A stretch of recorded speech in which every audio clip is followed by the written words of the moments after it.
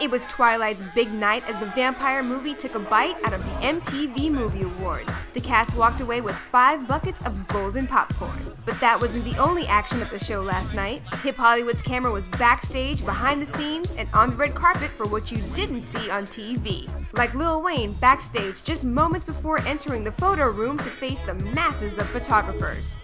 We caught up with Zac Efron after he was already inside but the real action was on the red carpet before the show.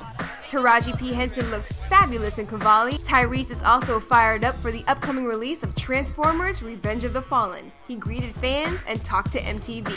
Soulja Boy was the official Twitterer of the award show. There was also a couple of fashion surprises. Lil Mama ditched the baby doll look. She told us that the change in style is all a part of growing up. Monique Coleman of High School Musical fame wore a dress that was a hit. Unfortunately, the hair may have been a miss. But our favorite fashion moment, Sacha Baron Cohen, or Bruno. His leopard print outfit was a revelation, and even Will Ferrell didn't know what to make of it. We caught the Borat star on his way out, dressed down and ducking into his ride. Like Sasha, I'm out. For HipHollywood.com, I'm Yasmin Richard.